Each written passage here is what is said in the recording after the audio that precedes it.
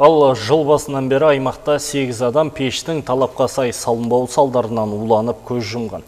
Дегенмен зардап шеккендер көрсеткіші өткен жылмен салыстырғанда 3,4 есеге төмен. Бұл туралы өңірлік коммуникациялар қызметінде өткен брифинг барысында өңірдің төтенше жағдайлар департаменті қызметкерлері мәлімдеді. Облыстық төтенше жағдайлар департаменті қызметкерлері алдын алу шаралары өз жемісін бергенін айтады. Биыл айтып келмейтін апат салдарынан қаза тапқандар көрсеткіші 18 пайызға төмендеген. Өрт кезінде балалар өлімі де тіркелмеген көрінеді. Что касается отравления от угарного газа, Жыл басынан бері көміртегі тотығынан уланудан 8 адам қаза тапты. Өскемен қаласында және Катонқарағай ауданында 3 адам, Шиманайха және Глубокое аудандарында 1 адамнан көз жұмды.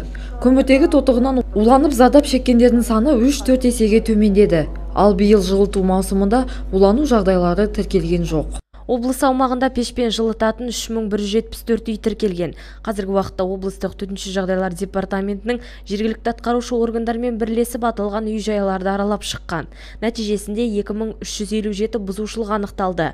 Әсіресе жеке тұрғын үй секторында тұратын әлеуметтік осал топ санатындағы азаматтармен түсіндіру жұмыстары жүргізілді. Есть человеческий фактор. әрине адами фактор бар екендігі белгілі. Өрттен ешкім де сақтандырылмаған.